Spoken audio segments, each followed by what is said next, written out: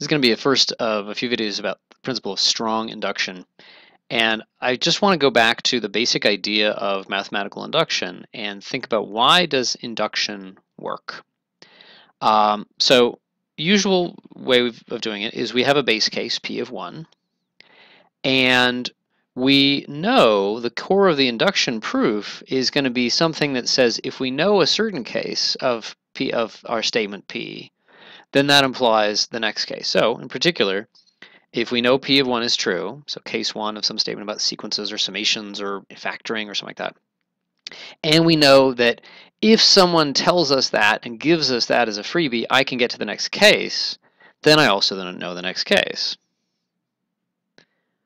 So I know P of 2. Okay. And now, suppose I can get from that case to the next case. So it's not assuming circularly that I know P of 3 already. It's that if someone did most of the work already and tells me P of 2 is true, can I get to P of 3? Okay, that certainly is going to tell me um, that P of 3 is going to be true because I know P of 2 is true. But let's suppose that P of 3 is a little bit harder to actually prove and I need a little bit more help. I want to say, you know what, can you spot me P of 1 as well? So in other words, can you say, given both P of 1 and P of true, P of 2, can I prove P of 3? That should be a little easier. I'm allowed to assume P of 1 and P of 2, and maybe with that much help, I can get to P of 3. Well, is that going to be okay? Well, yeah, because I do know P of 1 and I do know P of 2. There's no harm in saying, you know, can you spot me P of 1? Because you already have. We already know that's true. Okay, so if I know this is this, okay, so given P of 1 and P of 2 to work with, if I can get to P of 3, the next rung of the ladder, then given that I already know P of 1 and P of 2, then I've got P of 3. So I know P of 3. Okay, so now suppose, so the usual induction would be, uh, I know that if you tell me how to get P of 3 and, and, verify that P of 3 is true, case 3 of our statement, I get to P of 4, then certainly, yeah, I've got P of 4 as well. Okay, I'll put a check mark there. But there's no need to make it that hard on myself. What if I, uh, oh, that's a P of 3. What if all I know is that I can prove case 4 of the statement with the help of knowing P of 1 and P of 2 and P of 3? That's a weaker thing to, to uh, assume that I can do. I'm not forced to ignore the truth of P of 1 and P of 2 and only work with P of 3 being true. I'm allowed to use all of these statements to get to P of 4. Well, can I get, do I know P of 4? Absolutely because I can assume P of 1, P of 2, and P of 3, and that gets me to P of 4. And so on. So the principle of strong induction is that I'm allowed to use in my induction step any previous case.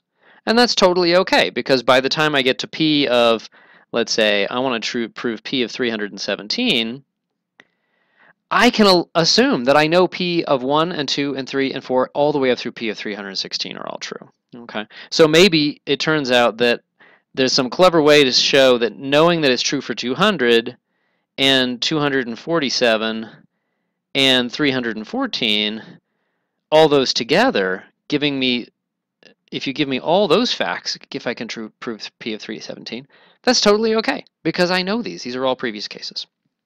So it's really the idea of if I can reduce to any previous case or even any combination of previous cases, then it's going to work. So how does that get written up? Okay, this is, this is a slightly different use of the K and N terminology. It's a little bit different use of the K and N terminology. So here's the principle. Okay, suppose that um, no matter what n is. It's a positive integer, though. Okay. Um, given p of 1 through p of n minus 1. I'm going to tighten this up a little bit, make it more like what the book says. So no matter what n is, given p of n 1 through p of n minus 1, I can show p of n. Then, in fact, p of n is true for all n.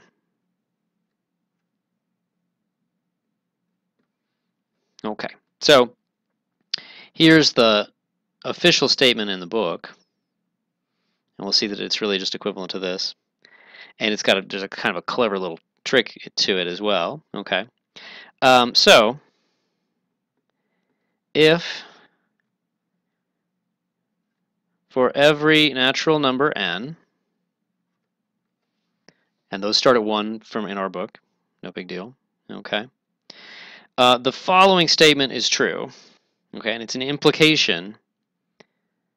P of k is true for all k less than n. I'll put that in parentheses. Implies P of n is true. Okay, so it's a little bit hard to parse, I think, but it's really equivalent to this, but we're just putting in a dummy variable instead of making a list. So suppose that no matter what n is, uh, that I can prove P of n with the help of, or with the, the ability to assume that P of k is true for all previous k.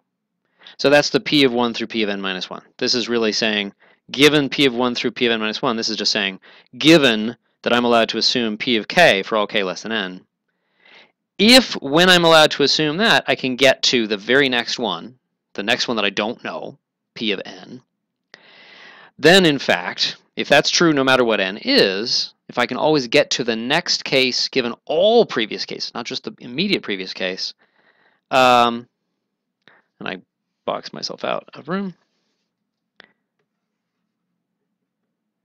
then P of n really is true for all n. Okay, so again, one more time, if I can get to a case given the, assuming the truth of all the previous cases, then I can say it's true for all cases. Now, notice um, there's no base case. There's no explicit base case here, and that's really kind of a trick. There really still is kind of a base case, but it's actually subsumed in the very first case of this. Notice this is supposed to be true when n equals 1. Okay, and what am I allowed to assume when n equals 1? I'm allowed to assume the truth of everything before that, but there is no natural number before 1 in our way of counting the natural numbers. So this, there's nothing I am allowed to assume, so I actually have to assume, I have to actually know that P1 is true on its own. Okay, so it's one of those things that mathematicians tend to like because it's very clean, but almost everybody else doesn't because they're like, eh, wait, you dropped the special part of it. And mathematician says, whoa, the special part is cleverly included in the general case. Well, you kind of have to see that. It automatically includes uh, the knowledge that P of 1 is true without any help. So there are going to be rare cases where you prove strong induction and even what you're doing kind of this falls out automatically as well and the base case falls out automatically. But I would never trust that. I would never ever trust that. Uh, you, you might as well do the base case. If you can't do the base case separately, then you probably don't understand what you're doing. Okay. So one more thing, I don't want this to be too long about the generalities before we get to the, intro, the, the specific examples. Um, we're using K and N in a little bit of a different way here. We're still using the letters K and N, but it's a little bit of a different use. Um, before, it was K was the, um, the temporary variable that made us remember that we're in the induction step. Okay. Here, N is really playing that role, and K has a new role. K is a label for which statement or statements are you using to get to the next one. Okay, so I'm following the book here, but it's it might be a little confusing because it's a really different use of um, this this the K and N here. We didn't have any use for the K in this sense before because we always knew which statement we were relying on, the immediate previous one. Here, it's a label that lets us talk about oh, which one did we use? Do we use n over 2 or n minus 7 or uh, statements 2, 3, 5, 7, and 9, something like that. Okay, so I just wanted to clarify that role of the, the letters. In the next video, we'll apply this with, um, with an example about Fibonacci sequence.